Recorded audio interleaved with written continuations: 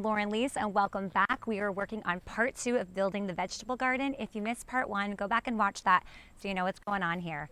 Um, we started out by laying out the garden and I drew it all up, measured it, figured out the amount of wood we needed, and here we are to actually put the fence posts in the ground today. Dave and I have talked a lot about how it's really important for us to involve the kids in what we're doing and to teach them how to build, teach them how to do these things. So we felt like this was a really, really good project to involve the kids in. They're going to be eating the food that comes out of the garden. So Little Red Hen style, we are actually going to have them help us. So I am going to walk you through the plans of the garden. I have dirty fingernails. I've been gardening this morning, so please excuse those. Uh, but this is a gardening video, so that should be fine with you all. All right, so you're gonna walk in this door here and it's 34 by 34 and I've given myself about three feet of space between each walkways. Just as I like it with interiors, I like my walkways in gardens to be three to four feet wide. This allows for enough room to comfortably walk by garden beds. I would go as small as two feet if I had to, um, but in this case, I'm really trying to keep our walkways at three feet so we can move comfortably so all seven of us can be in there and work at the same time. First, we are relaying out the garden. I originally drew the garden at 33 by 33, but as I was measuring out the wood and figuring out pieces that we needed to buy, I realized that the whole thing would go a lot better at 34 by 34. So I had to add an extra foot all over to give myself what I needed here. So I basically added one foot here and gave myself two and a half feet on the side aisles. And with that 34 by 34, I was actually able to make the wood order work out better. By adding that extra foot, we will have to make so many less cuts, which will save us so much time in the long run. So the sides will... Can you open my banana? Sure, Roar. One second. Banana opening underway. There you go. These sides will have five posts here and we will be using hardware cloth to keep the deer out from the sides. We're going seven feet tall here. The center door on the one side will be four feet wide. It's a good enough size for us to get into, but still small enough that we can maneuver the door pretty easily. And like I said, we're looking at 34 by 34. So seven feet, those deer should not be able to get in this garden. Deer salad bar is closed. My husband Dave and the boys are digging holes today for the fence post to go in. So we rented a post hole digger and this is something we haven't done in a long time. So here we go. We're starting with the four corners and then we're working inwards with the holes. So we can basically get our outline and then work in from there.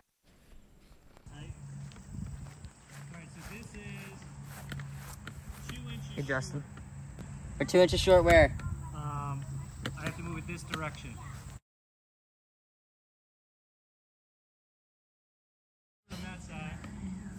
Ready? Put it nice and level. No, no, no, and level with it. Oh yeah. That's why we did this, right? Yeah. All right, we're three inches short here. Where? I'm working on my book and I'm in the final editing process, so I am not able to help on the fence today, and instead, I'm working on the layout of my manuscript.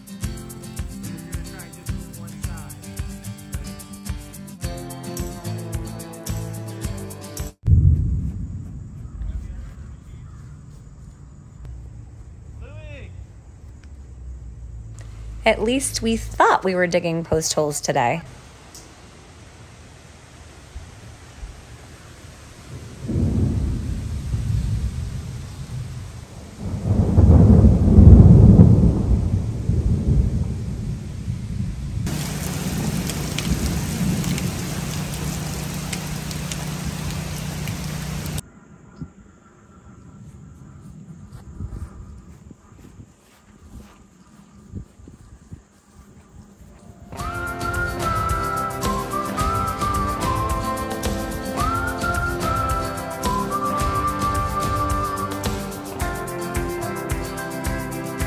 We are reviewing the plans one final time before tearing up the backyard.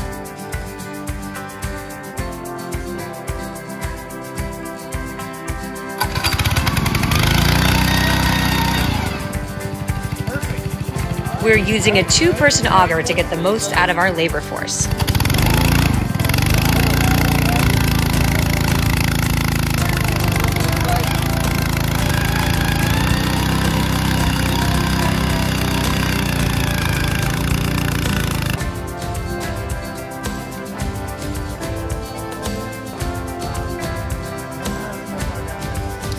We are going down 24 to 36 inches per hole based on the grading.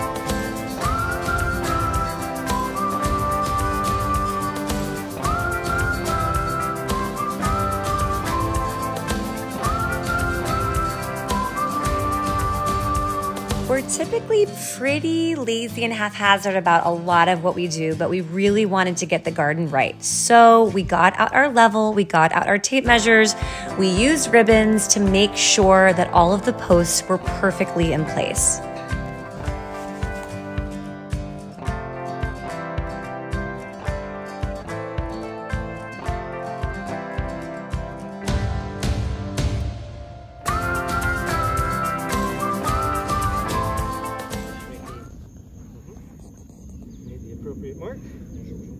Is our corner post. So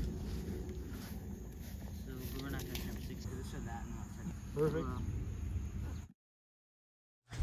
Now it's time to pour and mix the concrete. Oh. Concrete dust. That's it. Ready, nice and level? A third of a bag for each. I guess that's my first- We ended up using about half a bag of concrete per hole. Justin, take a break. I. Hope more accurate than a turlet. Have to level this.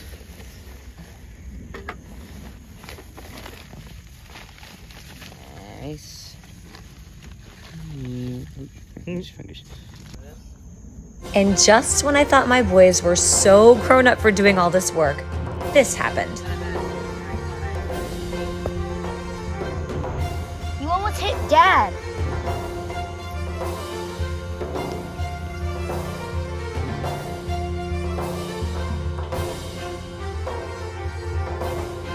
Everyone's always happy after a good day of work. It looks super clean. Orcs and ones that. What are you guys? Uruk-hai orcs. Yeah, orcs that are Uruk-hai. What type of work, Mama? Okay. I love you, my, my little nerds, my sweet nerds building me a garden.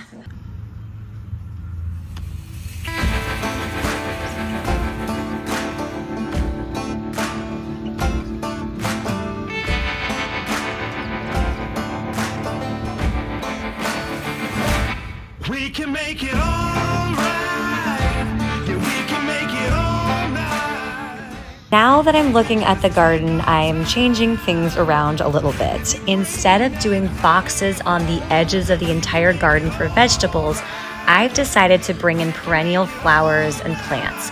So, this is going to take a little bit of rearranging, and we've got to figure out how to make our current boxes work for the new configuration.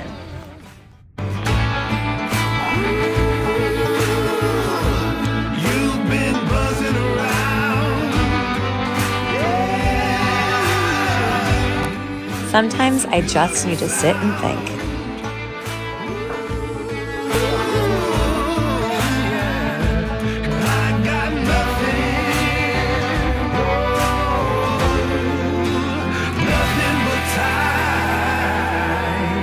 We're using 19 gauge half inch square galvanized chicken wire to keep the deer out.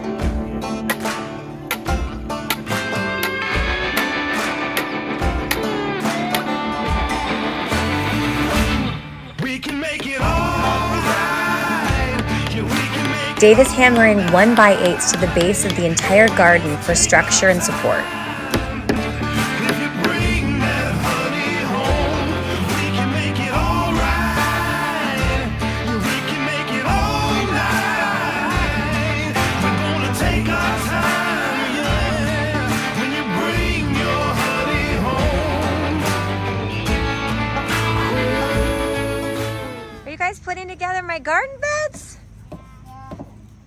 Thank you.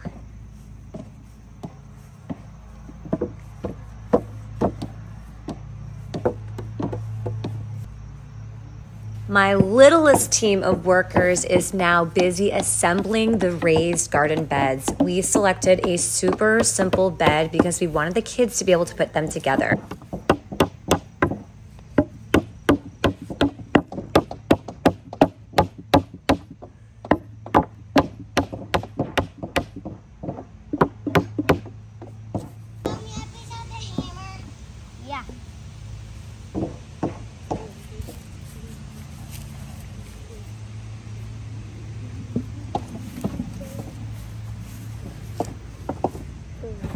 You might notice that our kids are barefoot and are often barefoot.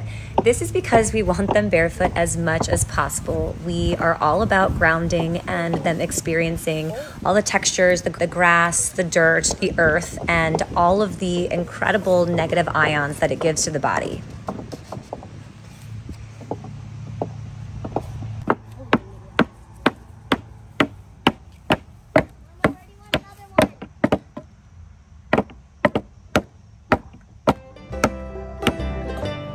That we are done with the fence and the garden beds, we are ready for my favorite part of a garden, planting. If you like what you're seeing here today, it would be super helpful if you would like and subscribe. It really helps us support the channel. Thanks.